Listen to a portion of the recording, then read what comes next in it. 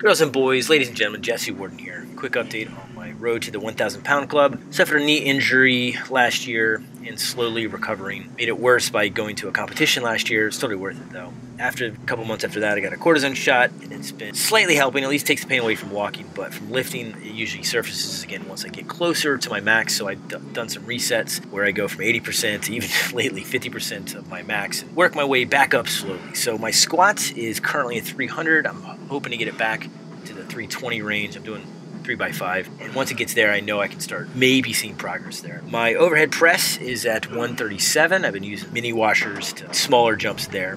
My goal in 2018 is to increase my press bench. So that's actually helping a lot. I really like these smaller weights. I thought they were kind of stupid, but I was completely wrong. They're awesome. Deadlift, for whatever reason, is stuck at 300. I think it's just mental because I'm just really frustrated for the injury. At this point, my deadlift usually shoots way far past my squat, but it's neck and neck right now at 300. My bench is at 177, so I dropped way down and just started working slowly to make sure the form is good and it feels good using the washer. Having a pound extra on each side really, really feels good. I can actually feel the pound. I can't feel it in a deadlift and a squat. I have to have at least five pound increments. That's where I'm at. I'm getting closer to my max. Hopefully, once the new year comes around, I can change my diet, and start focusing more on sleep, increase the protein. I'm, I'm currently high carbs because I've been doing so much parkour hoping I can see some gains there. That's where I'm at. Things are better. Injuries doing a lot better than it was. Knees feeling a little bit better, and uh, squats feeling great. So I'm just gonna keep on, man. Hopefully, 2018 is the year I can hit and join the 1,000 pound club.